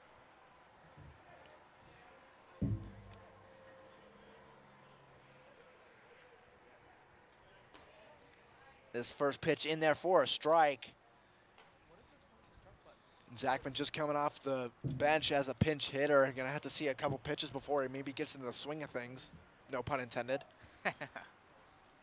nice hole in right center field though. And this one is grounded foul. Looked like it hit off the plate as well, so it'd be 0-2. But yes, the outfielders for Mercers are shading him over to the opposite field, and way that Nasinski's been throwing today, a lot of the balls have gone that way, but it just takes one guy to connect with a gap on the right center field side. Uh, maybe get uh, Webb at least to third base. And the infield for the Lakers as well are in uh, double play, uh, kind of strategical way. Um, so they're definitely trying to see what they can do with a pinch hitter up. That's one thing. You don't see any shifts in the infield like you do in the major leagues here in the college game. Zachman fouls it off, and DiNardo not able to hold on to it, so he stays alive 0-2. And I am not a proponent for shifting. I do not like it because uh, there's so many guys. John Jaso with the Pirates is the one guy that I think breaks the shift better than anybody because they shift him to the right side. He keeps hitting it to the other side. Eventually, going to have to stop that. Is this one in there for an outside strike, and Zachman goes down looking. And unfortunately, coming off the bench, it's it's hard to to kind of get your feel out of the pitcher really quick and and just uh, strike out looking. And everybody else in this Vulcans roster at this point have seen Nasinski at least once, maybe even twice today. So they're a little bit more. Uh, they know how he pitches. Yeah, exactly. And Logan takes one outside for ball one. Logan reached on an error by the third baseman his last time up. He's 0 for 2 today. This one in there for a strike about middle of his chest. Grove on deck. Jared Grove, he's due. He's the guy that's been hitting him right at the outfielders on great contact every time. Maybe you get this guy on, maybe get Grove an opportunity. This one is grounded. It's gonna roll just foul. Looked like it might have stayed fair for a second, but it just trickled away. And the Lakers looked like they even picked that ball up when it was fair. Uh, but just a call that didn't go the Vulcans' way there. It was very, very close. And it's just one of those that you let it go because, hey, if he gets a hit out of it, fine, whatever. It was just one of those luck of the rolls, but it did go foul. So now one and two, the count on Logan. Shortstop gets the pitch, and he swings and misses. That'll end the inning. Yeah, and the Vulcans there got one runner on. Christian Webb hit into the gap, and that's what they needed to do. And they also got a run out of that inning with a home run into left field. But we'll check out some replays here of today's game. As you see there, a, a great hit this was the, like the Lakers. This was the first RBI hit of the game as Fennell played it quickly off the batter's eye that held. Uh, that was Gonzalez to a long RBI single. Uh, Mercier's only scored one in that inning, and then here scored another one, made it two nothing after the second or top of the second inning. You mentioned Gonzalez. I'm looking at the box score from yesterday's game one, and Gonzalez actually homered to left field, got two RBIs in, in the third inning and uh, something that the Vulcans really took into consideration and kind of limited his production today, um, as he has really done nothing. Um, got a, a pitcher uh, decision got thrown out uh, to first base. So just trying to use what they learned yesterday, as this is the third time that they're facing Mercyhurst this season, um, kind of see what they can do in game two, as this is the top of the seventh inning. Warner will stay out there to pitch for the Vulcans, and I think why not? He's had a very good uh, top of the sixth. Looked like he could close this one out for the Vulcans. As it's the top of the seventh, they'll get one more time at bat, down by 10 runs.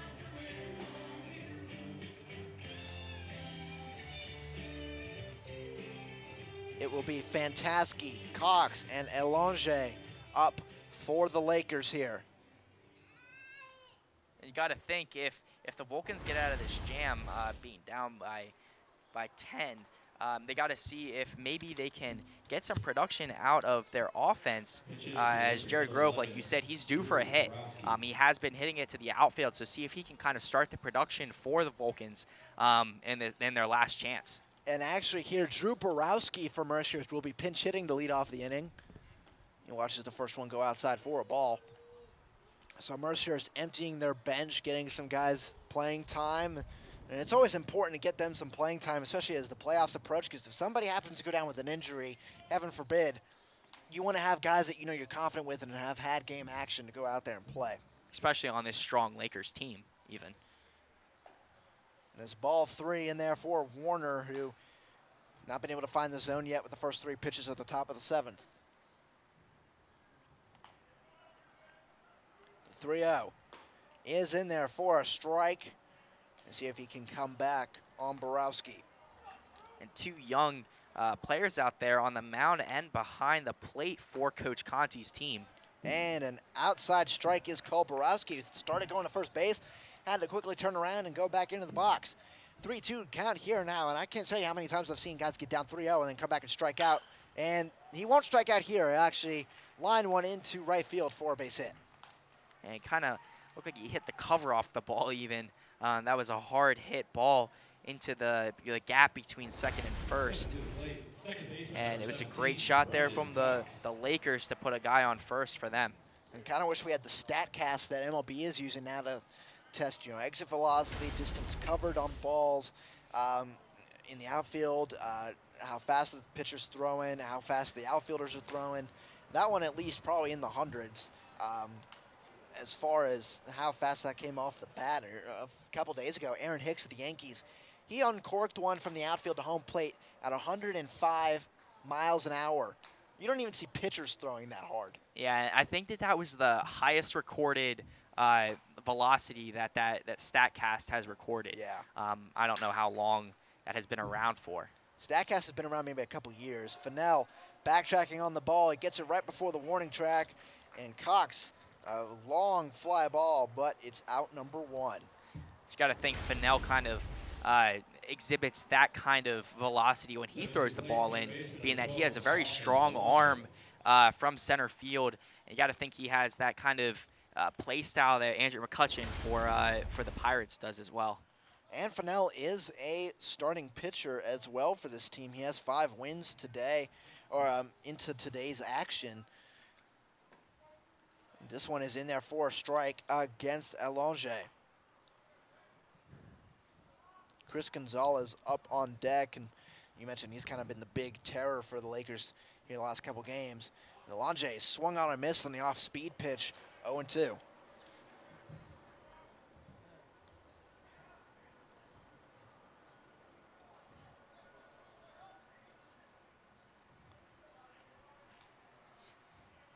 Alonge waiting for the 0-2 from Warner. Outside, ball one. And Christian Webb behind the plate there, kind of popping up every once in a while. Um, just getting that runner on first to just know that he's around. He will fire one down the first baseline and, and get a tag on you. And now ground ball foul wide of first base. And keep the count at one and two. Brandon Warner, he's had a couple balls put in play, but for the most part, he's been limiting what the Lakers have done over the last couple innings. Maybe he get out of this one without letting the Lakers score yet again.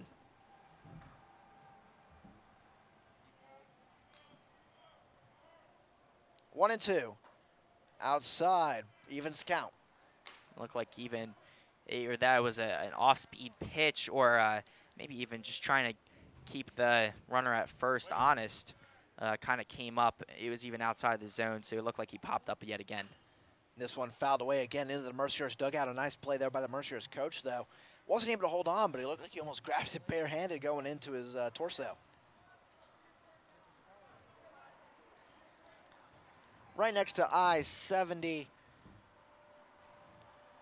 Consol Energy Park, the scene today as Warner throws on, and this one in there for a strike on the outside. The curveball dipped in at the last second to get Alonge looking. Yeah, and a great call there by the umpire, seeing that pitch was in the zone and uh, just getting that one there. Huge for the Vulcans as they need to get out of this inning so they can get to work on the offensive side. Yeah, you still got an opportunity. You got three outs to play with. You down 10 runs. Hey, crazier things have happened before. Gonzalez skies one deep over towards our camera people. Better watch out. And it goes right behind camera uh, two. As Ryan gives us a thumbs up. He was okay, but he was in no immediate danger, so I don't know why he's giving us a thumbs up. 0-1 now after a long strike. Gonzalez today, a couple doubles, a single as well, and flown out uh, to the catcher. Definitely got to be cognizant if you're a spectator not only that, but also, like you said, I-70 is right over there. A foul ball could could end up over there. I mean, that has to be a it pretty would take hard a, hit. It'd take a lot of power to get that over there. Now Gonzalez ground ball to the shortstop. Logan tosses on to second for the third out. And that will do it with the top of the seventh.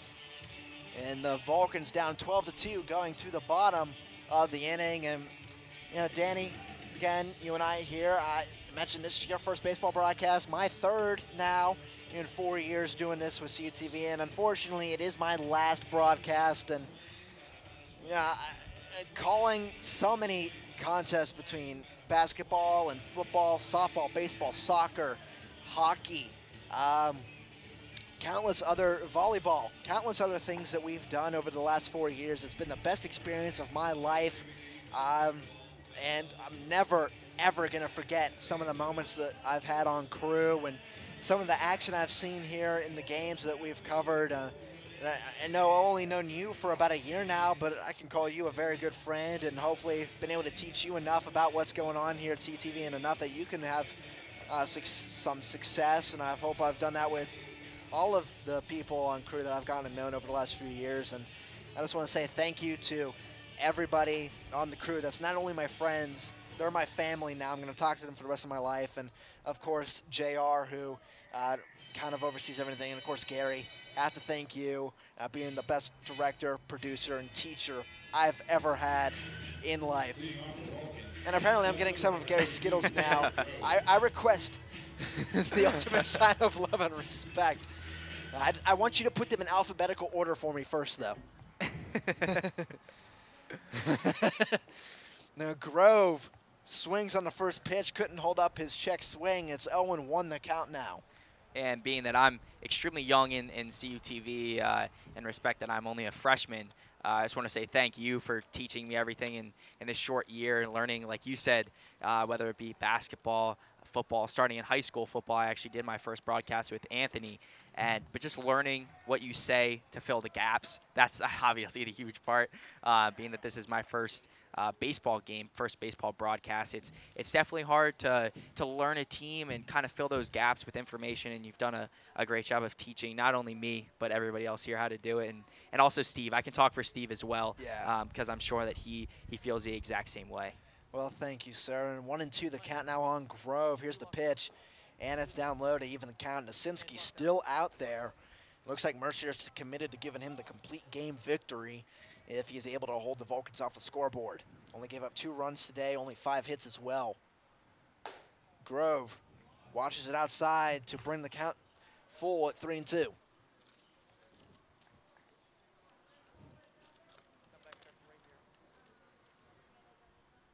Now Grove drives one in the outfield, and yet again, line drive right to the corner outfielder. Grove, I think, has put the ball in the bat better than anybody in the team today just right at the corner outfielders. Yeah, and this is something that Coach Conti told us pregame. He said that, you know, my guys can't really be at fault for these for these hits. Um, they're doing what they're supposed to. Uh, it's just where it's not at the right spot. It's at the wrong spot, the wrong time. And uh, it's very unfortunate for the Vulcans because this is a talented team. They definitely are, have a lot of talent on this team, whether it be with these young guys or the older guys in McFinnell and and also David Marcus not being in. This is a talented team. They have something going for them, and just getting the ball, just they can't get it placed the right spot. 2 and 0 the count now after another pitch from Nasinski. One out, bottom of the seventh.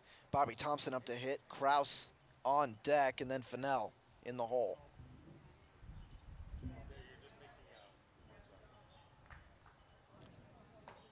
Now Thompson swings and misses, bring the count two and one.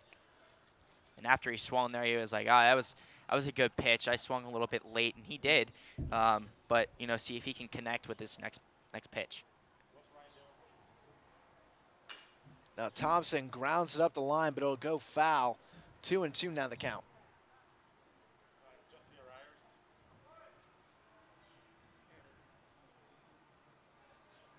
You know, hustle. Uh, that play was uh, a, a showing hustle there late in this game.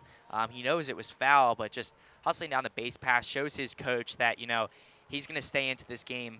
Uh, he's not really going to get discouraged at all, and that's something that you look for. Uh, you look for in a player. And a new catcher in there, Dominic Paolucci, is now.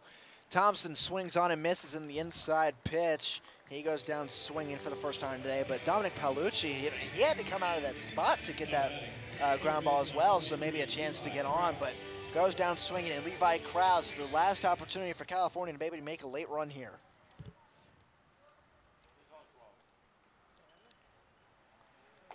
Kraus watches in there for a strike. And Kraus has done it earlier in this contest. Like I said before, at the in the bottom of the third inning, um, getting some some uh, much needed base runners on. This one dives down They'll even count at one. I'd like to see Fennell get another opportunity to hit. I like watching him hit. He's a very good hitter, very patient a leadoff guy. Is now Kraus. Skies one out of play to the right side. Back towards the interstate, but not enough to get it there.